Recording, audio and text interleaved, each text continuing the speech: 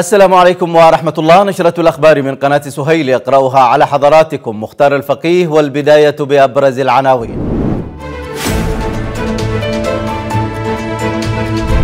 العليمي يؤكد ترحيب مجلس القيادة بكل الجهود المخلصة لإحلال السلام المبني على إنهاء الانقلاب. ميليشيا الحوثي تواصل حملتها المسلحة ضد سكان قرى همدان شمال صنعاء.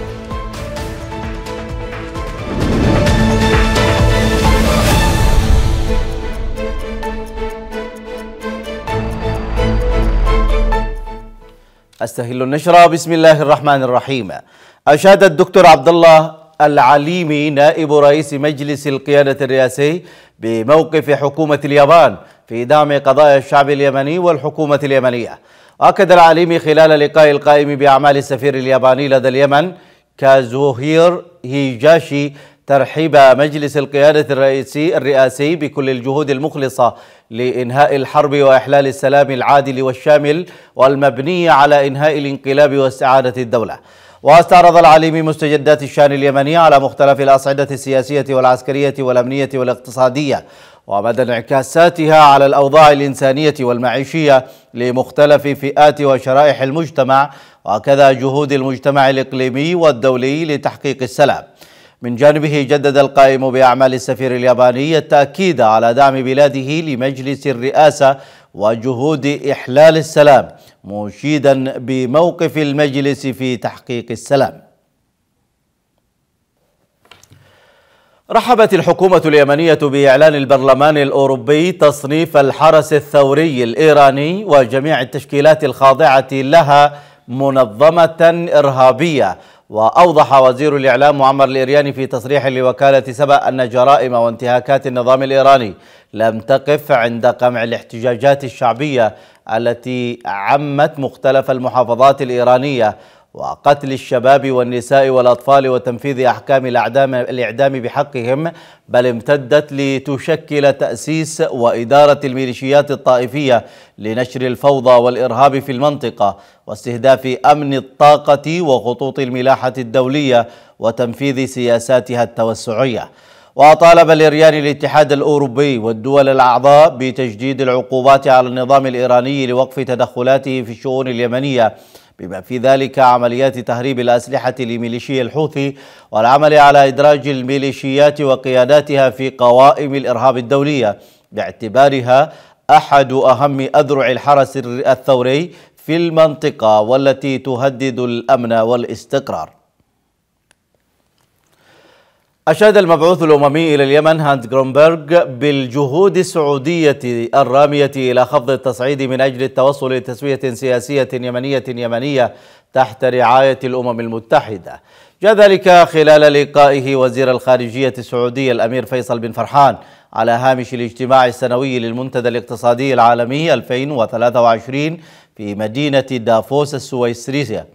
ومن جانبها قالت وكالة الأنباء السعودية إن اللقاء استعرض جهود السعودية والأمم المتحدة الهادف إلى أمن واستقرار اليمن بالإضافة إلى مناقشة الجهود المشتركة في دعم مجلس القيادة الرئاسي لإحلال الأمن والسلام والاستقرار في اليمن بما يكفل إنهاء الأزمة اليمنية والوصول إلى حل سياسي شامل ينقل اليمن للسلام والتنمية.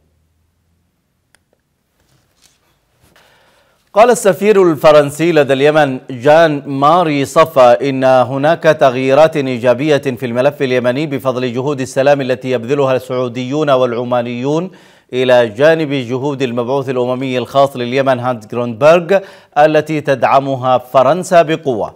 وأعرب صفا في تصريحاته للشرق الأوسط عن أمله في أن تفتح صفحة جديدة في اليمن فقد تعب الشعب من الحرب ويريد أن يعيش بسلام. وشدد صفا على ضرورة أن تؤدي الجهود إلى وقف إطلاق النار ومفاوضات سياسية بين الحوثيين والحكومة اليمنية الشرعية المعترف بها دوليا. وأشار صفا إلى أن طريق السلام في اليمن يمر عبر المصالحة الوطنية وتقبل الآخر وولاء كل اليمنيين لوطنهم واحترام القيم الإنسانية والمساواة بين جميع المواطنين عبر دولة تخدم جميع اليمنيين.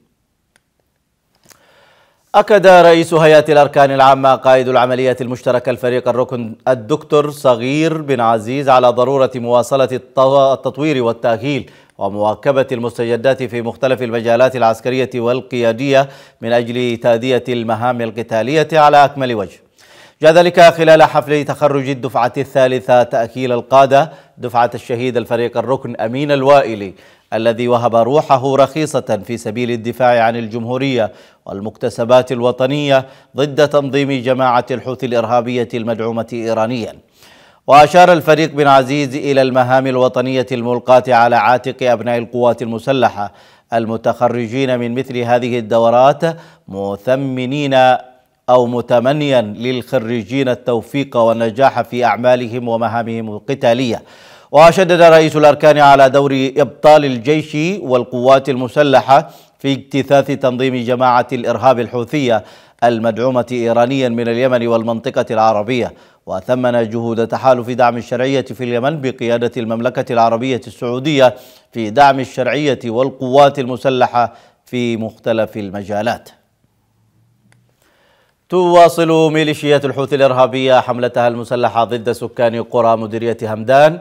شمالي غرب العاصمة صنعاء. وقالت مصادر محلية إن ميليشيات الحوثي استقدمت في وقت متأخر من ليل أمس تعزيزات عسكرية إضافية وفرضت حصارا خانقا على قريتي العشة وبجدودة بمديرية همدان. وأشارت المصادر إلى أن الحملة الحوثية المسلحة صاحبها عمليات تخريب لمنازل ومزارع المنطقة. وكانت ميليشية الحوثي اقتحمت يوم أمس عدة قرى في المديرية واختطفت نحو 19 مواطنا بعد اقتحام منازلهم. أدان المركز الأمريكي للعدالة الحملات الحوثية التي تنتهك حقوق المدنيين وكرامتهم. واعتبر المركز الأمريكي في بيان الحملة الحوثية على قرى مديرية همدان امتدادا لحملة سابقة وقعت على قرية العرة في نفس المديرية. وشبيهة بحملات أخرى على مناطق ومديريات في محافظة صنعاء والمحويت والحديدة بغرض الاستيلاء على الأراضي والعقارات واستغلالها لصالح جماعة الحوثي. وقال المركز الأمريكي إن الحملات الحوثية على قرى ومنازل المواطنين في همدان تمثل اعتداء على الممتلكات الخاصة التي حماها الدستور والقوانين اليمنية وسلوكا عنصريا. تنتهجه جماعة الحوثي للإخلال بتركيبة المجتمع وتجدير أو تجريد أفراده من حقوقهم وحرمانهم من الملكية ما يهدد هويتهم وتماسكه وينذر بإفقارهم. وطالب المركز الأمريكي للعدالة باستعادة دور مؤسسات وأجهزة الدولة في تحقيق العدالة والمواطنة المتساوية باعتبار الحل الأمثل والأوحد لضمان الحقوق والحريات. وتجنيب البلد والمنطقة نتائج هذه الممارسات. بهمة عالية يدخل اللواء 170 دفاع جوي في تعز العام الجديد متسلحا بخطط كبيرة وجهود دؤوبة لتطوير الأداء ورفع القدرات القتالية وتعزيز مهارات الأفراد. اللواء 170 دفاع جوي أحد ألوية محور تعز. بدا عامه التدريبي كعام مختلف عن بقية الأعوام التزام ونشاط وجاهزية وإرادة.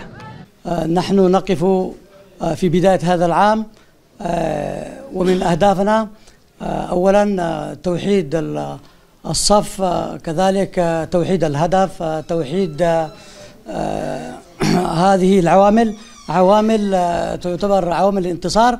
نحن لنحقق هذا الانتصار لابد من عمل متواصل ليلا ونهار في صقل المهارات للأفراد وللضباط وللجنود وكذلك الارتقاء بالمستوى التعليمي. هذا العام إن شاء الله يكون بداية الانطلاقة جديدة بشكل جديد بوعي جديد بروح معنوية جديدة لتلاشي ما ما كان من سلبيات المعامل في الأعوام السابقة.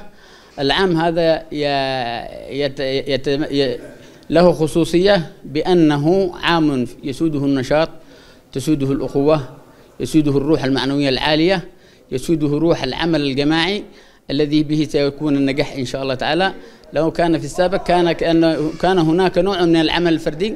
اللقاء بمنتسبي اللواء ضباطا وافرادا وإطلاعهم على الجديد والرفع من معنوياتهم. أحد التزامات القيادة اليومية.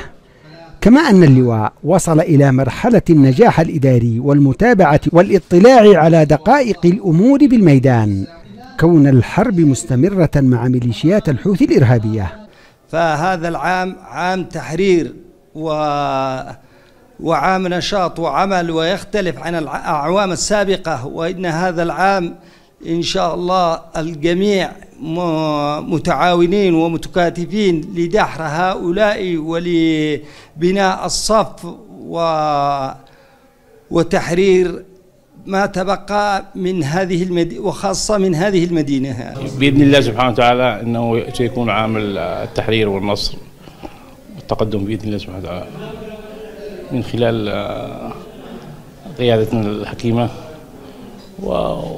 والمعنويات العالية لدى الأفراد. الدخول إلى أروقة اللواء يشعر الزائر بمدى الانضباط والحضور لكل الأركانات والتزامهم بالمهام الموكلة إليهم بحسب توجيهات المحور ووزارة الدفاع.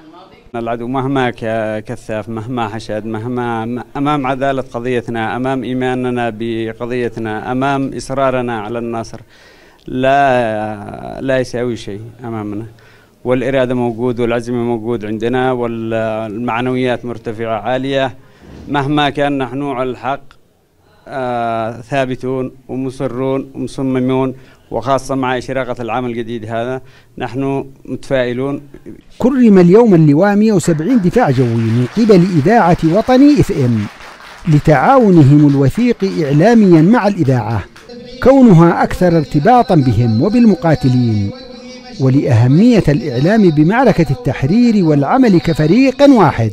الإعلام هو الروح التي تعبر عن مشاعر الجيش الوطني عن أحاسيسه عن وطنيته عن التزامه عن منجزاته عن مواقفه عن نضالاته عن المعاناة التي يعانيها الجيش الوطني عن الانتصارات التي يحققها في الميدان. فالإعلام هو معنوية الجيش. الإعلام صوت الجيش. الجيش الوطني مع الإعلام في تلازم ومعركتنا واحدة. نحن من أول انطلاقة المقاومة والجيش الوطني. الإعلام كان حاضرا. وأحببنا اليوم أن نكون موجودين آه، هو تتويجا لهذه المهمة المتبادلة. بيننا والمتكا اللي هي آه، تربطها علاقة تكامل. اللواء 170 دفاع جوي يعمل بخطان متوازيان بالجبهات وتدريب وتأهيل الأفراد لإعدادهم لمعركة الانتصار وتحرير الأرض والإنسان من المشروع الإيراني وميليشياته الإرهابية باليمن عامة وتعز خاصة. ولم تعقه قلة الإمكانات عن الوصول بأفراده إلى مرحلة الاحتراف. قال الأستاذ المساعد في جامعة سيئون أنور رمضان مسيعد إن أحلام الفرس بعودة إمبراطوريتهم يعد من أبرز أسباب الصراع في المنطقة. وفي ديوانية سيئون الثقافية تحت عنوان المطامع الدولية في المنطقة الأسباب ووسائل التعامل معها. استعرض مسيعد خلفية الصراع والطوائف الرئيسية المشاركة فيه وأسبابه وواجب الأمة العربية والإسلامية نحوه. وأكد مسيد على ضرورة استشراق المستقبل وتوحيد كلمة المسلمين ونبذ الخلافات والصراعات البينية وتأمين الغذاء. ودعا الدكتور مسيعد إلى إعادة الاهتمام بزراعة النخيل في وادي حضرموت ومواصلة جهود الأجداد والآباء. الذين يساهموا في توسيع الرقعة الخضراء بالوادي والتي بدأت تتلاشى في السنوات الأخيرة. قالت الوحدة التنفيذية لإدارة مخيمات النازحين في محافظة مارب إن تأخر برنامج الغذاء العالمي في صرف المساعدات الغذائية ينذر أو ينذر بكارثة إنسانية.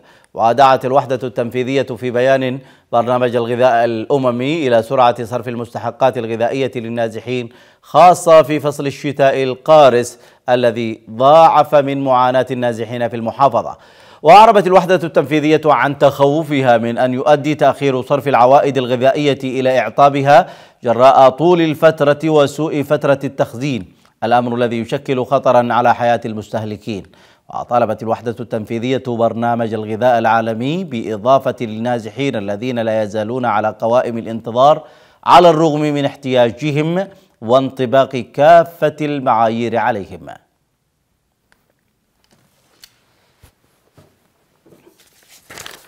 دشن وكيل محافظة مارب الدكتور عبد رب مفتاح والممثل المقيم لمنظمة الأمم المتحدة للطفولة والأمومة في اليمن بيتر كوخن دشن العمل بمنظومة الطاقة الشمسية لمخازن اللقاحات التابعة لمكتب الصحة والعامة والسكان.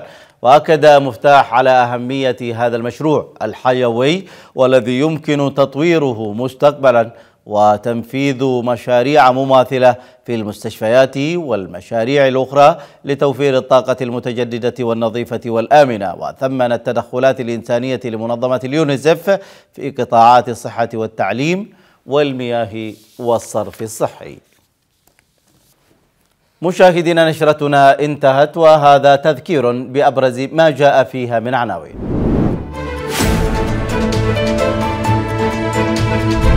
العليمي يؤكد ترحيب مجلس القيادة بكل الجهود المخلصة لإحلال السلام المبني على إنهاء الانقلاب. ميليشيا الحوثي تواصل حملتها المسلحة ضد سكان قرى همدان شمال صنعاء.